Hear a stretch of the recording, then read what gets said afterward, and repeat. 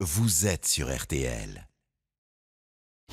RTL, C'est notre planète. Virginie Garin. Allez, c'est à vous maintenant, Virginie. Bonjour. Bonjour Julien, bonjour Marina, bonjour à tous. Bonjour Virginie. Alors, cette semaine, c'est la semaine européenne de la mobilité. C'est donc l'occasion euh, d'aller voir ailleurs avec, euh, avec vous, aller voir ce que font les, les grandes villes dans les autres pays pour lutter contre la pollution.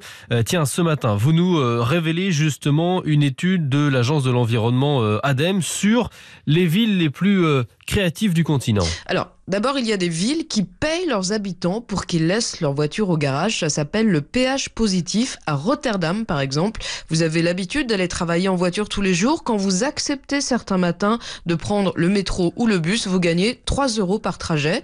Il y a d'abord une phase où des radars, grâce aux plaques d'immatriculation, repèrent pendant quelques semaines les véhicules qui roulent tous les jours. Et ensuite, quand ils ne sont pas là, les conducteurs sont récompensés. Alors, en France, Lille a voulu essayer, mais la CNIL lui a interdit, hein, la Commission informatique et liberté, car les radars savent tout sur vos trajets. Donc, si on voulait le faire chez nous, il faudrait changer la loi. Mais à Rotterdam, ça a fait baisser le trafic de 6%.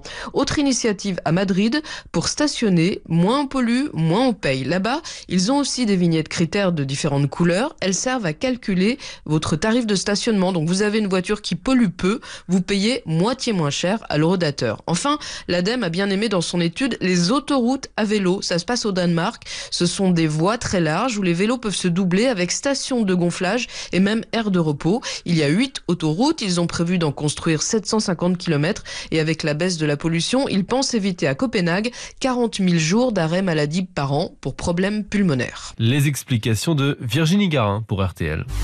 RTL Matin. Avec Julien Cellier.